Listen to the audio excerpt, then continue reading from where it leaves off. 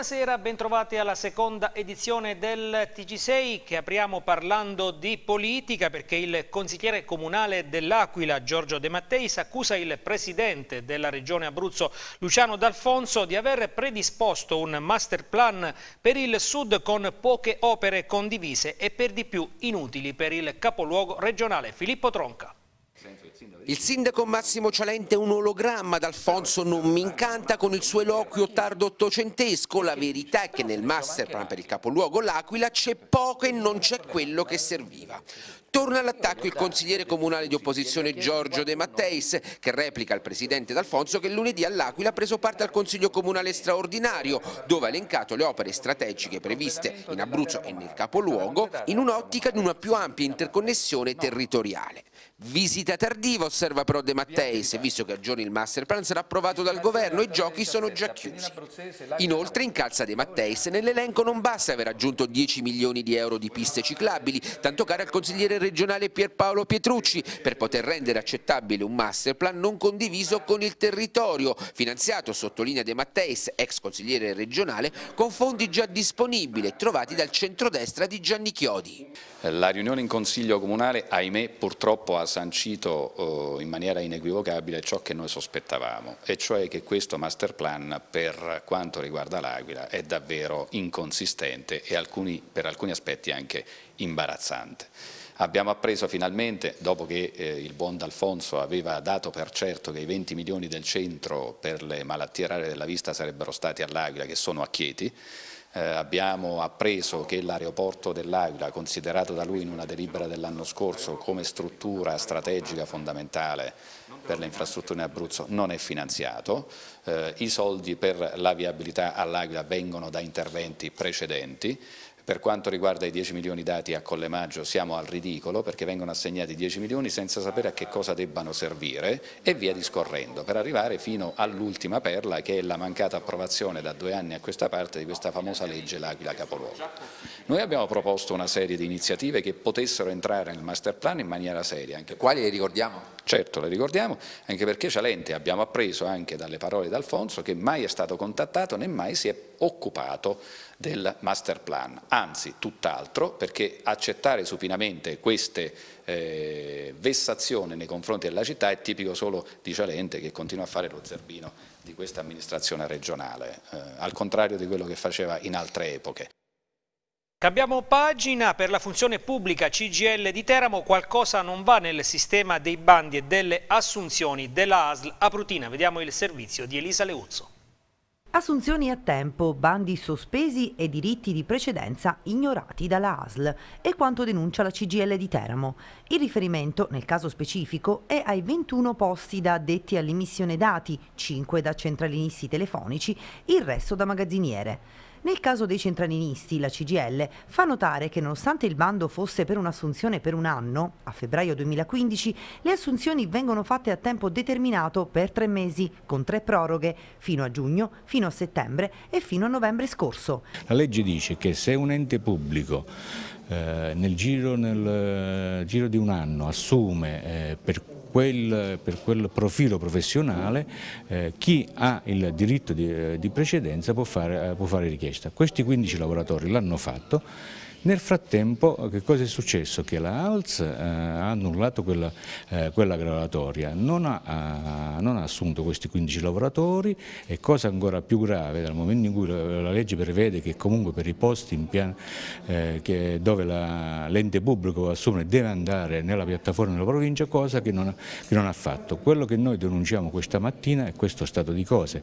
cioè la ALS ha la possibilità di assumere personale a tempo indeterminato e non lo fa. Ci chiediamo chiediamo perché? Perché continua ad assumere tramite le cooperative e tramite l'agenzia etica? In più occasioni la CGL ha scritto alla ASL rammentando che per molti vale il diritto di precedenza nelle assunzioni, ma non ha ottenuto risposta.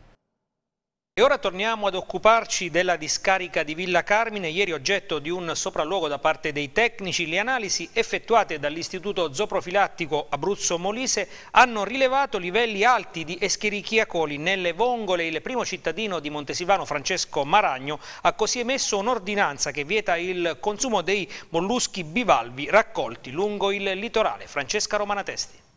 Ancora un sopralluogo sulla discarica di Villa Carmine a Montesilvano dopo il sequestro effettuato dalla Capitaneria di Porto di Pescara. A partecipare ieri c'erano Regione, Comune ed Arta in qualità di consulente tecnico. Una ricognizione tecnica nel corso della quale l'attenzione è stata concentrata lungo l'argine e l'alveo fluviale e dove sono state rilevate alcune situazioni che necessitano di ulteriori verifiche geologiche al fine di valutare gli interventi più adeguati da porre in essere. Il sindaco di Montesilvano Milano, Francesco Maragno, ha poi voluto ricordare che la discarica di Villa Carmine si trova su un sito che ricade, per la maggior parte, su un'area demaniale e per la restante su una di competenza comunale.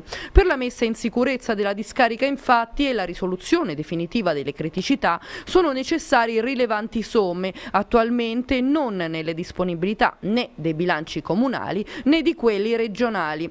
Nonostante le difficoltà, le istituzioni hanno annunciato un lavoro sinergico per poter arrivare in tempi brevissimi alla soluzione dell'emergenza affinché venga garantita la tutela della salute dei cittadini, poiché priorità assoluta è stata data alle attività di bonifica. Nel frattempo, dopo le analisi dell'Istituto Zooprofilattico, il primo cittadino ha emesso una nuova ordinanza che ha declassificato i molluschi bivalva raccolti sul litorale del tipo vongole da A a B, vietandone cioè il consumo diretto, poiché secondo le analisi avrebbero registrato valori fuori norma di Escherichia coli, che è l'indicatore primario di contaminazione fecale. E siamo alla cronaca, parliamo subito di un eh, fatto accaduto questa mattina a Piazzano di Atessa dove un uomo di 79 anni è rimasto ferito in un incidente stradale, l'uomo è stato investito da un'auto, è stato soccorso dai sanitari del 118 e poi trasferito in elisoccorso all'ospedale di Teramo con un trauma cranico. Sulle cause dell'incidente. Indagano i carabinieri. E parliamo ancora di cronaca, resta ai domiciliari il 49enne della provincia di Teramo arrestato dalla polizia polizia postale per pedopornografia. A stabilirlo questa mattina al termine dell'udienza di convalida il GIP Domenico Canosa che ha confermato la misura dei domiciliari. Nell'udienza l'imputato si è avvalso della facoltà di non rispondere. E noi torniamo a parlare di politica perché il governatore della regione Luciano D'Alfonso questa mattina ha incontrato i sindaci dei comuni costieri per discutere dei finanziamenti per la salvaguardia delle coste per combattere il fenomeno dell'erosione. In arrivo 580.000 euro per gli interventi urgenti. D'Alfonso ha incontrato anche i rappresentanti dell'Ordine dei Geologi. La giunta regionale finanzierà con 580.000 euro i comuni del litorale abruzzese per consentire gli interventi urgenti di ripristino degli arenili in vista della stagione turistica estiva. Lo ha ribadito il presidente della giunta regionale Luciano D'Alfonso che insieme all'assessore Di Matteo ha incontrato questa mattina a Pescara i rappresentanti delle amministrazioni comunali costiere. Per il programma delle opere la regione ha richiesto un finanziamento complessivo al Ministero dell'Ambiente di 58 milioni di euro Domani, ha sottolineato D'Alfonso, è prevista a Roma la riunione della cabina di regia istituita dal Governo per la programmazione del Fondo Sviluppo e Coesione 2014-2020. Si tratta di un intervento tampone, ha spiegato Di Matteo, in attesa che vengano rimessi i pareri della Soprintendenza ai beni paesaggistici sui progetti presentati dalle amministrazioni locali diversi mesi fa. Sempre nel corso della mattinata il Governatore ha affrontato in una riunione la questione del potenziamento del ruolo ruolo dell'autorità di bacino regionale su richiesta dei rappresentanti dell'Ordine dei Geologi regionale.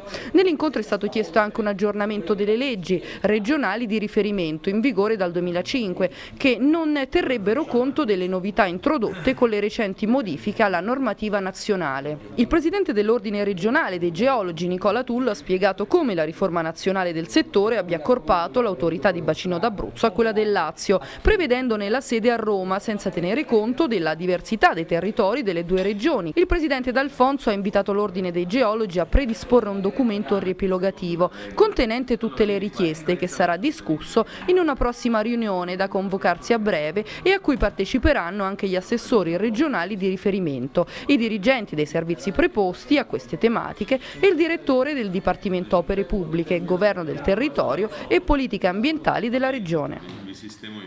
E noi torniamo a Teramo per le manutenzioni delle strade comunali, servono almeno 2 milioni di euro, così il gruppo consigliare di Futuroin chiede al sindaco così di contrarre un mutuo. Assessore Di Stefano, dopo essere stato attaccato personalmente sulle manutenzioni stradali che mancano qui sull'intero territorio comunale, il gruppo di Futuro In chiede al comune di Teramo di contrarre un mutuo da 2 milioni di euro per appunto le manutenzioni stradali. Vi aspettate una risposta positiva? Allora, guarda, mh, attaccato personalmente sì perché sono io la figura insomma, che ha quella delega, però è chiaro che era un attacco all'intera amministrazione che di manutenzioni per quello che riguarda quelli stradali, almeno quando ci vengono questi tipi di, di lamentele, eh, sono state fatte pochissime in questi anni. Ho detto più volte il perché, perché ci siamo concentrati sulle manutenzioni degli edifici scolastici, quindi è una decisione che abbiamo preso tutti quanti insieme, eh, però sapevamo che adesso che prima o poi arrivava il momento che dovevamo concentrarci eh, maggiormente, dando la priorità alle manutenzioni stradali, quindi tra virgolette eh, agli asfalti. Per questo Futuroin ha ribadito questa cosa, ma che non penso nella maniera più assoluta ci possano essere problemi perché è una cosa che faceva parte del programma del sindaco e che condividiamo tutti quanti, quindi su questo siamo tutti d'accordo. Adesso come ci si arrivi chiaramente va ragionato, può essere un programma in là negli anni, quindi fatto con la contrazione di un mutuo, eh, può essere utilizzando i soldi della contrattazione dell'antenne, può essere utilizzando i fondi eh, della vendita dell'immobile, qualsiasi esso sia l'entrata poi che andrà utilizzata, comunque il concetto è che bisogna concentrarsi sulle manutenzioni stradali. È stata fatta una valutazione che per fare un programma serio di manutenzioni chiaramente nel tempo che non è una cosa che poi mh, sviluppi in due o tre mesi, quindi almeno con un paio d'anni, diciamo che con un paio di milioni di euro c'è la garanzia che nel giro di un paio d'anni riesci insomma, a sistemare eh, molte situazioni per quelle che sono le strade della città. E andiamo a Chieti dove è entrato in funzione il servizio a domicilio del PRA, pubblico registro automobilistico. L'iniziativa nasce da un progetto che punta ad offrire sostegno a tutti coloro impossibilitati a recarsi negli uffici per il disbrigo delle pratiche automobilistiche.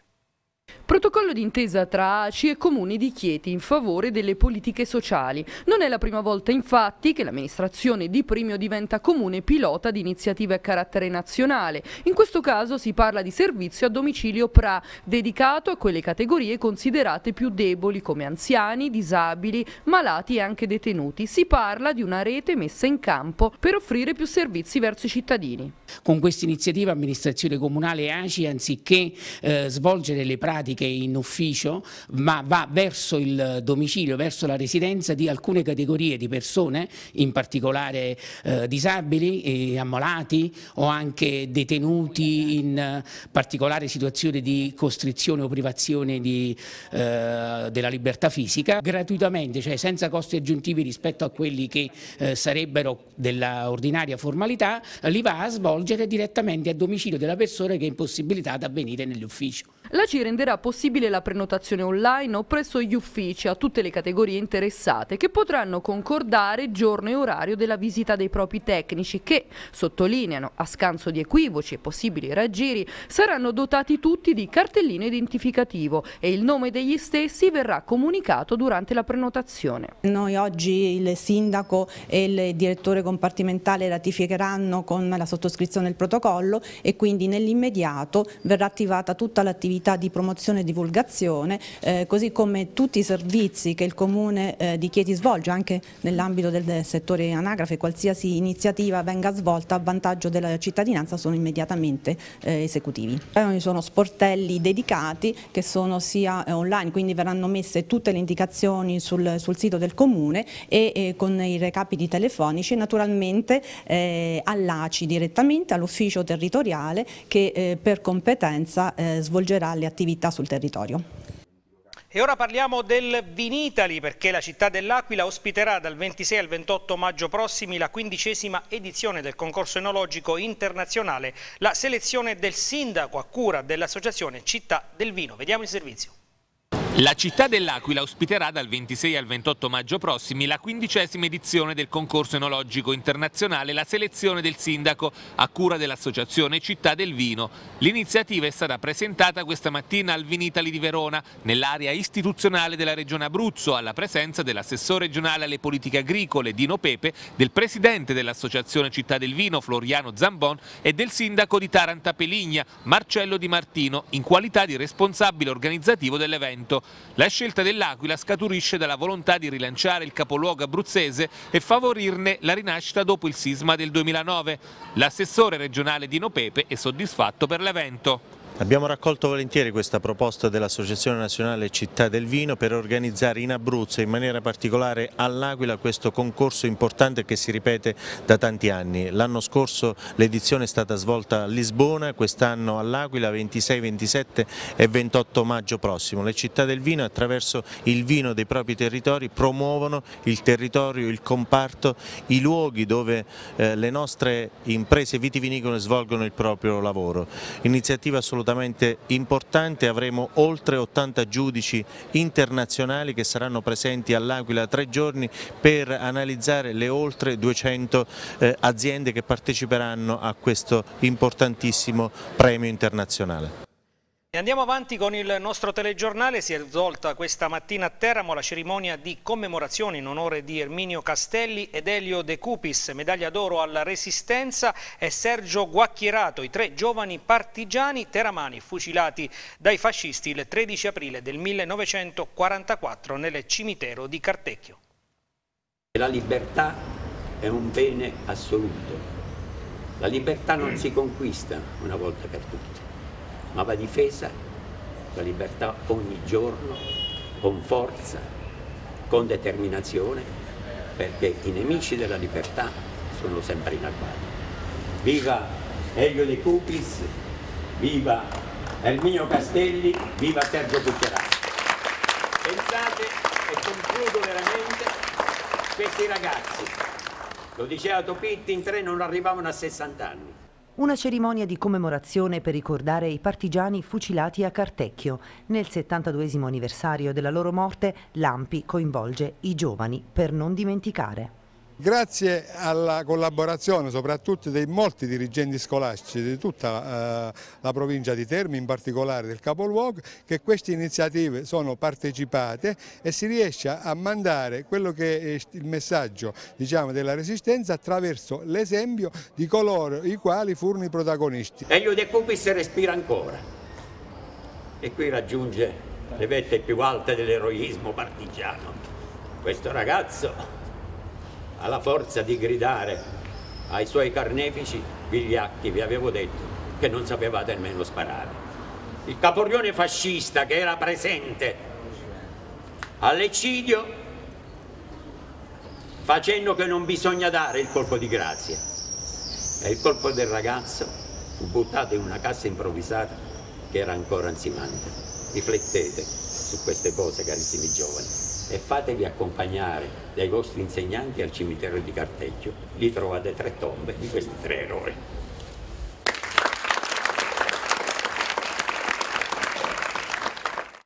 E noi andiamo a Chieti perché Comune di Chieti e associazioni sportive podistiche hanno raggiunto l'accordo per il pagamento delle quote sull'utilizzo dello stadio Guido Angelini, definito un piano per risanare il debito accumulato negli ultimi anni.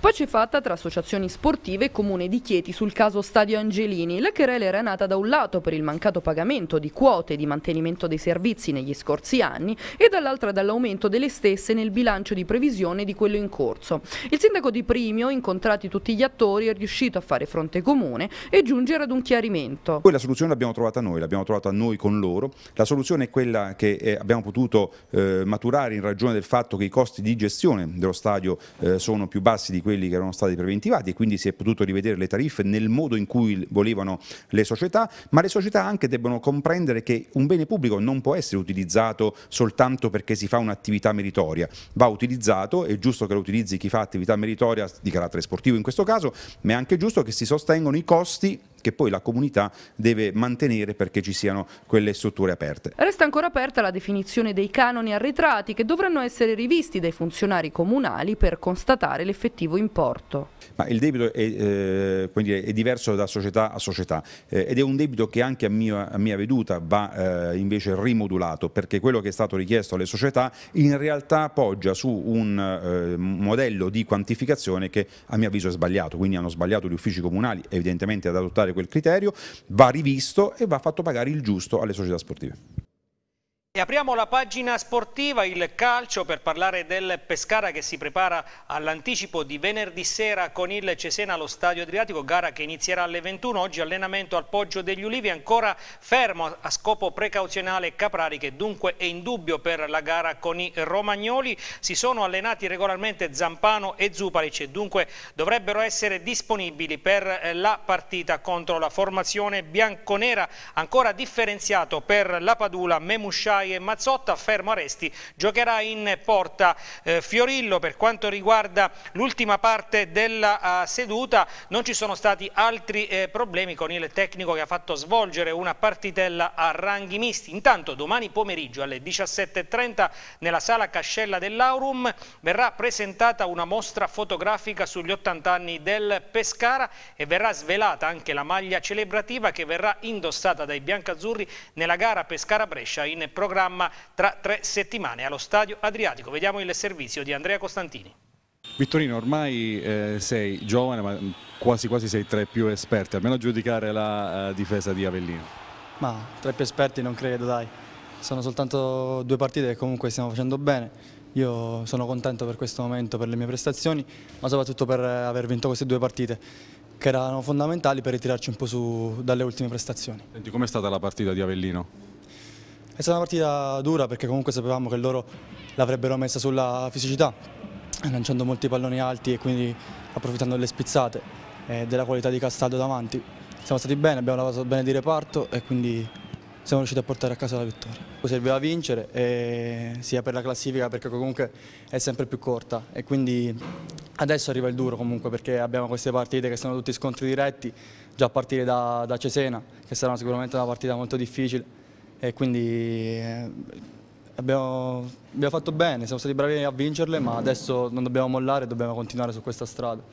Volte, altre volte hai glissato, però ti rifacciamo questa domanda, possibile che in Lega Pro non hai trovato un minuto? Come mai? Si diceva perché fossi troppo spesso convocato e non lavoravi troppo con il gruppo? Questo non, non penso proprio sia questo il problema, anche perché venivo convocato in nazionale, non eh, da qualche altra parte e quindi non lo so, il problema, ve lo ripeto, non lo so qual è stato, magari il mister non si fidava, però va benissimo così, adesso sono molto contento di essere tornato e, e quindi mi fa molto piacere comunque anche per queste ultime prestazioni. Senti, mh, eh, probabile una tua conferma anche mh, per la prossima partita, affronterai Ciano o Ragusa, insomma sono giocatori molto forti. Sì, sì, devo iniziarmi a preparare mentalmente da subito perché sono sicuramente dei giocatori molto forti. Queste, ultime, queste partite che affronteremo ci saranno sempre giocatori forti in attacco, quindi bisogna fare veramente il massimo e lavorare duro. Siamo a Lanciano, mattinata speciale per i rossoneri per l'iniziativa Tra i banchi c'è Virtus, il presidente Valentina Maio, il responsabile marketing Michele Lascala, il tecnico Tommaso Di Biccari, Di Francesco, Cragno, Turchi, Giandonato, Rocca e Aquilanti eh, sono stati impegnati in questa iniziativa. Vediamo il servizio. Un problema mentale. Insiste ancora su questo aspetto il tecnico Primo Maragliulo che si assume le responsabilità principali per la miniserie di tre sconfitte consecutive che hanno reso di nuovo preoccupante la classifica della Virtus Lanciano che ad oggi è ancora al di fuori della zona play-out retrocessione ma già nelle prossime ore potrebbe tornarci se dovesse arrivare la temuta penalizzazione. Responsabilità perché, a detta dello stesso tecnico, non ha saputo motivare il gruppo che, specie nelle gare casalinghe con Perugia ed Entella ha fallito l'approccio alla partita e non ha messo la giusta determinazione e cattiveria. È pur vero che la rimonta delle giornate precedenti è stata impetuosa, con un ritmo addirittura da promozione, ed è in realtà normale che la Virtus abbia pagato il grosso sforzo, anche mentale, tanto che forse qualcuno ha pensato che il più per la salvezza era stato fatto. È evidente che non è così, perché fermarsi in questo momento della stagione è sempre deleterio e lo è ancora di più per una squadra che potrebbe subire una penalizzazione. Allora per ritemprare il gruppo, e su questo Maragliulo potrebbe agire, l'inserimento di elementi freschi e che hanno voglia di fare, anche con qualche limite, potrebbe essere un toccasana. Giocatori come Milinkovic, Giandonato, Bonazzoli aspettano la loro chance, così come concedere una giornata di stop almeno dal primo minuto a chi sembra un po' in debito d'ossigeno come Marilungo, in attesa dello sprint finale, potrebbe essere un'idea. Lo sconto diretto di Latina costituirà un banco di prova perché determinate scelte saranno obbligate. La difesa è ai minimi termini, Rigione alle prese con la fascite plantare è monitorato quotidianamente, si cerca un difficile recupero anche perché con Boldor reduce dall'operazione e con Aquilanti e Amenta squalificati l'unico centrale arruolabile è Di Filippo. In mediana proprio Gian Donato avrà la sua opportunità con Bacinovic appiedato. Sulla strada della Virtus due tecnici dal recente trascorso, prima Carmine Gautieri e poi Marco Baroni. Gautieri è stato chiamato a risollevare le sorti del Latina, anche se una svolta consistente non c'è stata. Sei punti per lui in altrettante partite. Anche per Gautieri il match con il suo recente passato è uno snodo cruciale di questo finale di stagione e il pomeriggio del Francioni promette di essere carico di tensione.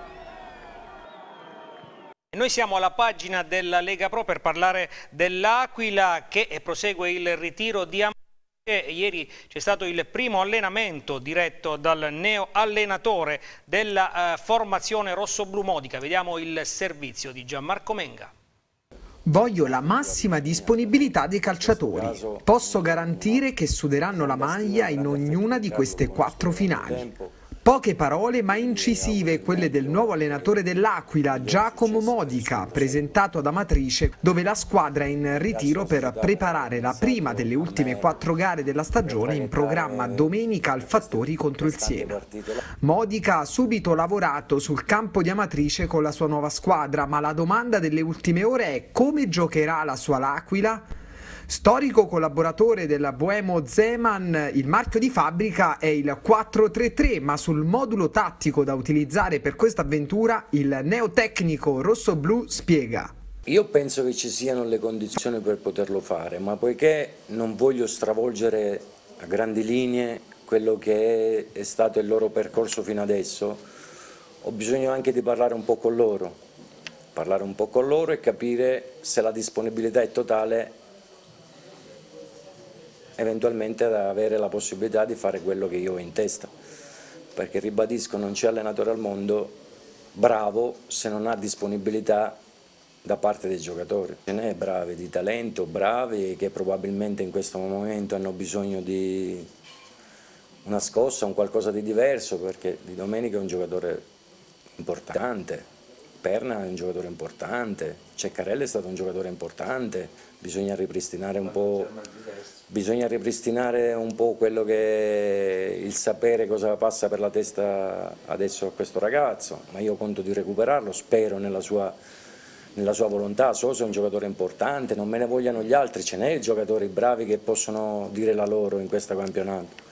E quindi siccome non si gioca a livello individuale ma si gioca a livello di gruppo, mi aspetto che il gruppo mi venga dietro e ognuno faccia la propria parte. Chi ha 6 da 6, il 6 lo porteremo a 6,5. Una cosa è certa, suderemo la maglia, quello è sicuro. Poi non so dove arriveremo, ma la maglietta la suderemo. Siamo al Teramo, la gara Teramo-Lucchese in programma domenica prossima 17 aprile alle 15 allo stadio Bonolis e valevole per la 31esima giornata di campionato sarà diretta da Andrea Mei di Pesaro coadiuvato dagli assistenti Simone Assante di Frostinone e Leonardo De Palma di Termoli. Non si ravvisano precedenti eh, per la terna con i colori biancorossi, biancorossi che vogliono chiudere bene la stagione. Vediamo il servizio. Non c'era niente, nel senso non, non eh, abbiamo sbagliato tutto ma soprattutto ha sbagliato l'atteggiamento mentale che penso che sia quella cosa più importante di tutti. Se non, è, se non hai l'atteggiamento giusto, non c'hai la concentrazione, la concentrazione giusta, eh, rischi di fare delle figure bruttissime, per non dire altro. Però è pure vero che poi nel secondo tempo penso che stato, abbiamo buttato il cuore al di là dell'ostacolo perché abbiamo fatto penso un miracolo vero e proprio. Spero che sia, ci serva da lezione perché ci sono altre quattro partite, quindi come ho detto anche la scorsa volta, se, se non hai l'atteggiamento giusto è meglio stare a casa. Eh, bisogna finire alla grande, la grande significa finire cercando di fare quattro vittorie. Ecco.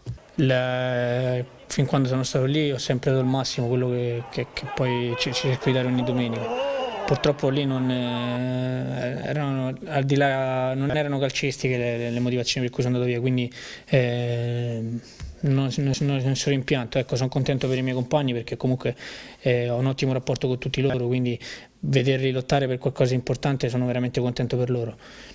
Però a livello personale no, non, assolutamente no, anzi mi, mi dispiace essere venuto e non, non aver, come posso dire, contribuito a fare qualcosa di magari di più importante qui, ecco quello sì, però no, assolutamente no.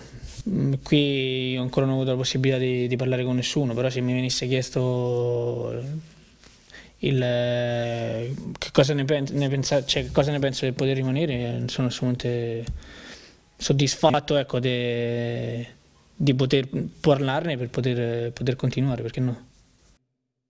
E questo era l'ultimo servizio della nostra seconda edizione del TG6, vi ricordo la terza sempre questa sera alle 23, ma non perdete alle 21 l'appuntamento con Virtus Style per parlare delle vicende rossonere del Lanciano e saranno ospiti questa sera in studio, nello studio di Alessio Giancristofaro, i quattro candidati sindaci di Lanciano. Per il momento è tutto, grazie per averci seguito e buon proseguimento di serata.